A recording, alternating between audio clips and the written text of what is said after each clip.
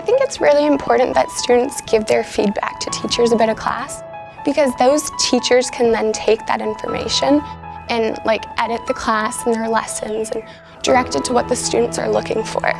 Professors cannot read minds, but we do read words.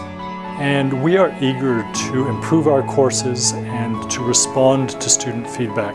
And I like to tell the students that uh, they're paying it forward because I'm going to use that feedback to improve my course for future students.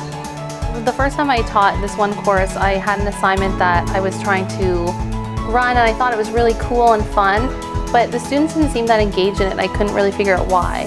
And once I got the feedback, I could change the assignment so I could design it so that students could engage even more with it. And the next year when I ran the same type of assignment, it went really well. The only way for the information to be objective is for the students to feel comfortable saying what they actually think. And if they know that the teachers know that it's coming from them, it's going to change the results of what they write down on the page. I think that student anonymity is really important because I want students to feel like they can tell me if I did something they didn't like or if an activity really flopped or something along those lines because that information is really useful for me.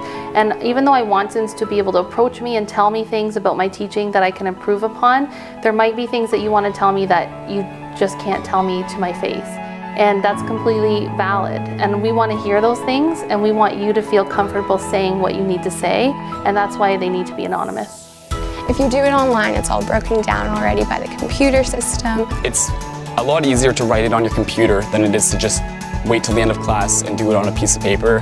You're able to add comments to the instructors and that's really helpful especially because on the old ones the rating scale it can be helpful for them but it doesn't really give them like concrete feedback as to what exactly the students uh, liked and disliked from the course. Professors are committed to teaching effectively and we value very much the input that you provide as students to our teaching and without that we cannot improve.